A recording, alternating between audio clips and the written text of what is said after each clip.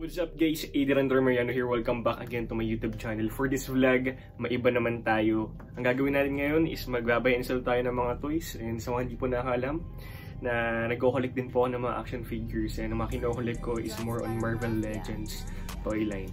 And so ayun, samahan nyo ako. Tapa ko na yung mga items and ready to post lang din yung mga yan. And ang reason kasi kaya talaga nagbebenta ako is yung mga double ako ng mga action figures na to nagbabawas-bawas ng tinulong ng mga items. So, unahin muna natin to, si Wolverine and Colossus. Daredevil, Sabertooth dito, Falcon, Professor X, Vengeance, Ghost Rider, Deadpool, Domino, Aspak na Phoenix, and Ultron. Green Goblin, and Aspak din. Iba di ko na alam yung pangalan eh. Pero, and guys, pupusan natin to mga to. And, debenta na natin.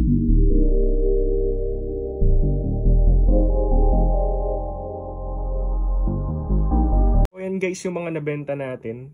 So nabenta ko si Phoenix and Ultron, Green Goblin and Maestro, and si Colossus and Wolverine.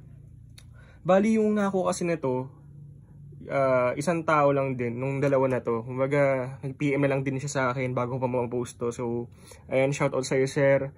Sobrang solid mo dahil dyan bibigyan kita ng malupit na diorama. Ikaw nang bahala dyan. So pa-free ko na to sa'yo. And dito naman via PM din to tong Wolverine and Colossus. Still ko lang din to uh, binenta sa kanila. So ano pa hinihintay natin? Samahan nyo ako. Papaship ko na to ngayon. Let's go! Pumunta na ako na LBC. So may pipick upin din pala ako mga bagong napamili mga action figures. So papakita sa inyo yun mamaya. Dress mafia. Mafia.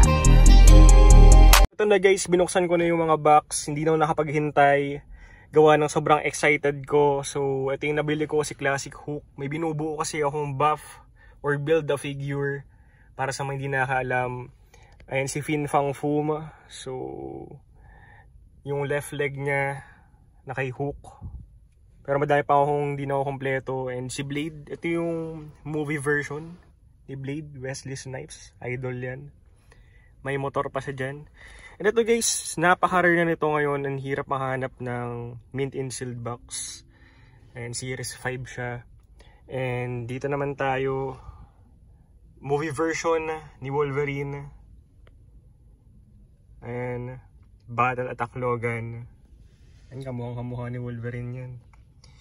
And ito guys, si Cyclops. Ito, ang tagal ko nang hinahanap nitong Optic Blast Cyclops. Ito, what I really like about this is fully articulated siya kasi meron akong isang Cyclops na movie version sa bahay. And di ganyan yung costume niya. Pero articulated din naman siya. Pero mas trip ko rin talaga to eh. Ayan. Yung X-Men suit niya. So, ayun guys, yan lang naman yung mga nakuha natin. Di-display ko na to mga to and so pagtagal, baka ibenta rin natin. So, ayun, abangan nyo lang siguro. So, dito ko natatapusin yung vlog. Ang sarap lang din sa feeling na nakukolek ko na yung mga laruan na pinapangarap ko dati. Kasi dati nung bata ako, tinitignan ko lang talaga sila sa internet. And to be specific, sa eBay. Yung shipment, di ko alam and syempre wala akong pera. Laging tatandaan kung may pangarap man kayo sa buhay, simulan nyo na agad. And don't forget to like my page. Ayan, Facebook page, Fabulous Toys. Andyan po yan sa taas. And nagpo-post ko dyan ng mga upcoming action figures na binebenta ko and mga collection ko. Don't forget to subscribe to my YouTube channel. And palike na lang din ng YouTube channel na to and pa-comment kung may mga suggestions man kayo. And see you on my next vlog. Peace out! Dress parang mafia.